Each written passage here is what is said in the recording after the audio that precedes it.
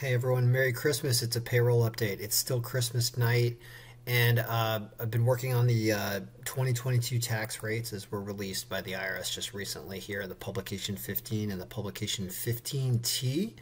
And uh, I felt the need to do a video about something. So, when you're coding the uh, the rates or you're trying to write a formula to figure out what the federal withholding is, there's there's a bunch of different things you need, but there's one thing that that I thought the 15T usually provides, and apparently this year it's either an omission. I don't think it's an intentional omission, but it is an omission, which is they did not give you the annualized rate formula for. They, they usually do, but they just gave you every other one. They gave you uh, every other type of pay period weekly, bi weekly, semi monthly, but they didn't give you annual. And you need the annualized rate formula to uh, properly apply it to whatever payroll period you're going to be applying it to. So what I decided to do was to code that for everyone so that everyone can have it, and, and the link will be provided in the video uh, description below so that you can have what the annualized actual rates would be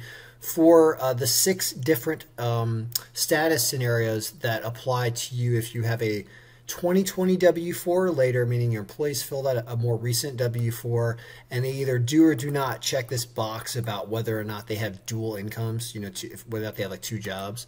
And whatever their status is, married, um, single, or head of household, um, this, this is what the monthly version is. If the payer is monthly, there's no annualized table uh, for some reason. So I created the annualized table by multiplying these numbers by 12. This should work and should be accurate. Um, if it's not accurate, obviously we'll find out very soon as I publish this video. I get an angry email from the IRS. You, should, you, you, generally don't get emails from the IRS, but get an angry phone call. Well, no, actually, get, get a phone call from the IRS. It's probably not them either. They send you stuff in the mail.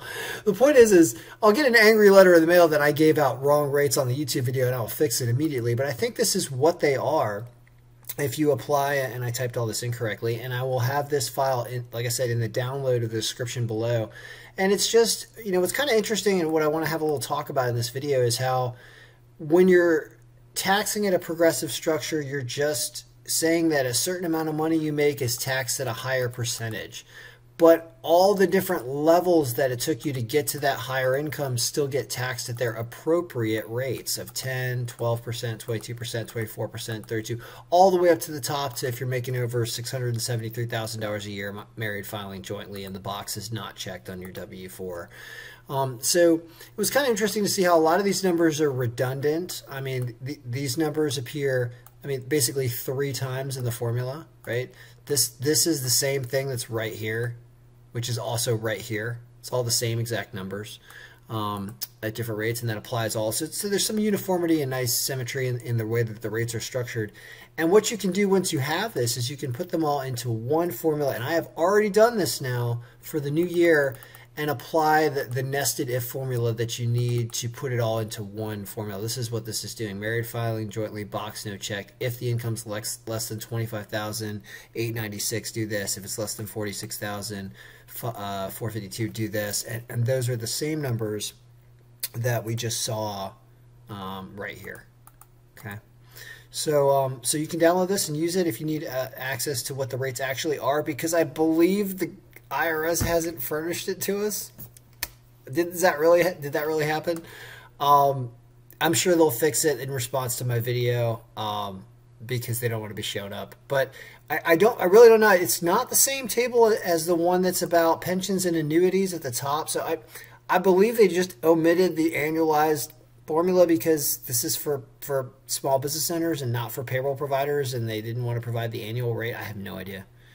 Um, but uh, point is, is it's done now, and I noticed typing in the rates that your your paycheck you're gonna have a couple bucks you're gonna save every paycheck depending on how much you make, but it's not a lot of money. That they staggered the rates up a little bit. Uh, compared to last year for cost of living adjustments and, and, and the first first chunk of money a lot of times is not taxable like there's almost this like standard deduction sort of that they've done if um, because the, the old W4 is old now. There are also rates for the old W4, which I've also done, but they did provide the annualized rate table for those. So that is in the publication 15, even though the annualized rate table for the other six options based with the with the new 2020 W4 is not in there. So anyway, that's the update. We're making a ton of progress on payroll here on Christmas, and next couple days, really tearing through this and doing videos and getting this product out to everybody who uses this payroll and Excel file. It, it's it's amazing and getting more amazinger every every single day. All right, so payroll should be easy make it so. Um, and if, if anybody sees any errors here in these formulas of what these annualized rates are supposed to be, uh, or they revise the publication 15 after this video, please leave a comment below so that we can correct it. But I think this should be good to go. All right, good luck. Payroll should be easy make it so.